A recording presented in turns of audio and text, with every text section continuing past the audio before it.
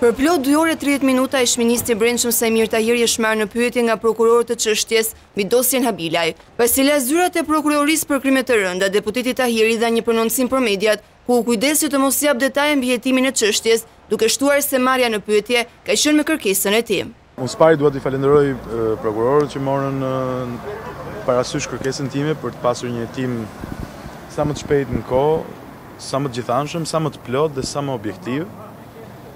Uh, me kërkesën time u paraqita për të dhënë shpjegimet e mia dhe uh, për të shprehur gatishmërinë sot e kurdoherë për uh, t'i shkuar të vërtetës deri në fund me çdo mjet timin dhe disponibilitetit tim personal për t'iu përgjigjur çdo kërkese të prokurorisë. Edhe pas insistimit të gazetarëve, Saimir Tahiri tha se beteja e tij është me drejtësinë dhe nuk preferon që kjo çështje të kthehet në një histori debati politik.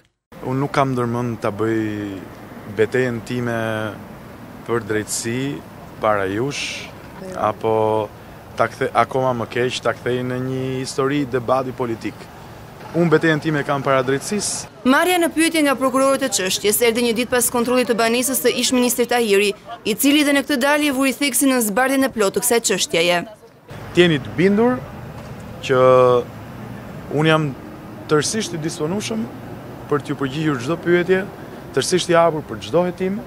Të jeni të bindur që unë do përpiqem me gjithçka jam dhe me gjithçka kam për t'i shkuar deri në fund së drejtës time.